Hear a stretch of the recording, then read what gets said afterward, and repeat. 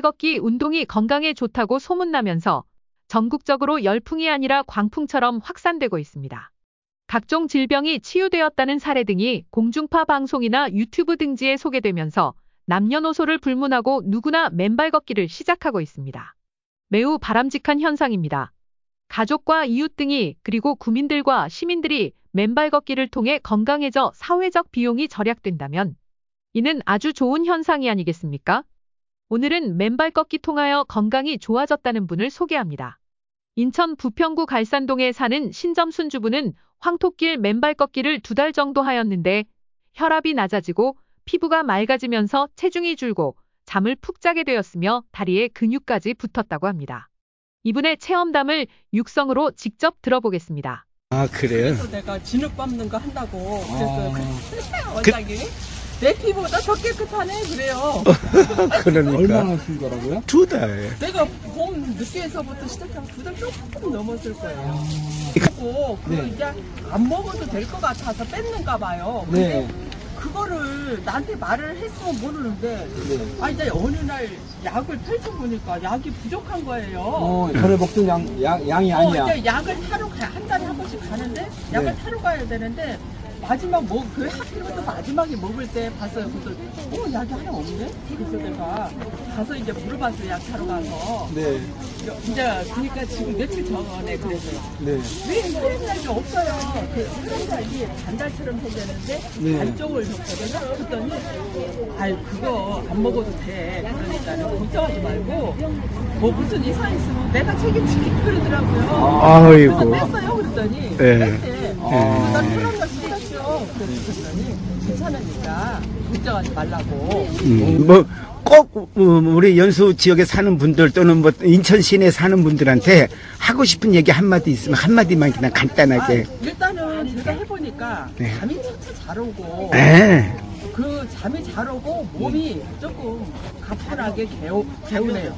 네. 아, 예. 그러니까 아침에 일찍 일어나면 다른 때는 막 이렇게 뒤집어졌다 이렇게 뒤집어졌다 어, 막 네. 몸이 오다가 무거워서 네. 않아서. 네. 그랬는데 지금은 이제 그런 게 네. 조금 많이 완화됐어요. 아, 아이. 네, 알겠습니다. 너무너무 감사하고요. 예. 좋은 어, 소중한 경험담을 들려줘가지고 다른 분들한테 많은 도움이 될 것 같습니다. 예, 좀 그랬으면 좋겠어요. 왜냐면 네. 내가 해보니까 진짜 조금 살도 그리고 다리에 근육도 붙더라고요. 그렇겠죠. 예. 예, 예. 아이고. 그래서 네. 저는 이렇게 갈산동에 사는데 직장 다녀요. 그러는데 저는 끝나고 하루도 안 빠지고 여기 와서 한 시간 발산동에 사시는데 끝나고 네, 지금 직장 여기는 끝나고. 연수구에 있는 선악동의 승기천에 네. 어, 주변에 있는 황토길입니다. 여기를 하루도 안 빠지고 아니, 오신다는 하루도 거. 안 빠지고 전철 타고 와요. 그러면 하루에 한한 어느 정도 시간을 할애해서 운동을 합니까? 한 시간 20분. 1시간 20분. 네, 빨릴 때는 이제 조금 빨리 걸으면은 1시간 10분, 1시간 아. 그 정도. 그러니까 1시간은 넘겨요. 어, 그렇죠. 그게 절대량이 필요한데 네, 보통 이제 권장이 네. 40분 이상 1시간 반을 하라고 하- 어, 이렇게 돼 있거든요. 네. 근데 그걸 어느 정도 매일 지키신 거네요. 매일 똑같이 여기를 저기 네. 세번 왕복, 그 다음에 어쩔 때는 이제 한 번 더 하고, 네. 한 아니면 또 반을 조금 더 하고, 네, 네. 그런 식으로 세 번 이상은 무조건. 그러니까 이제 마지막으로 정리를 하면 하루도 안 빠지고 매일 했다. 그다음에 두 번째 하루에 1시간 한 20분 정도는 어, 네. 꼬박 했다. 네. 이렇게 절대량을 다 채웠다 이런 뜻이네요. 네, 나는 그게 이제 우선은 내가 뚱뚱해서 네. 좀 많이 걸어서 살을 빼려고 그거 하나는 목적이 있었어요. 예, 아, 이제 다이어트 목적으로 시작했다가 양도 그냥 어, 예. 생각지도 않았던 어, 효과가 나타난 거네요. 결정적으로. 예. 예, 아유. 그래서 다른 사람보다 좀 빨리 걷는 거예요. 이제 좀 살도 좀 빼려고. 예. 이게 천천히 걸어야만이 더 효과를 본다고 해요. 근데 그래서 내가 더 많이 걷는 거예요. 그래요. 그 효과도 보고 예.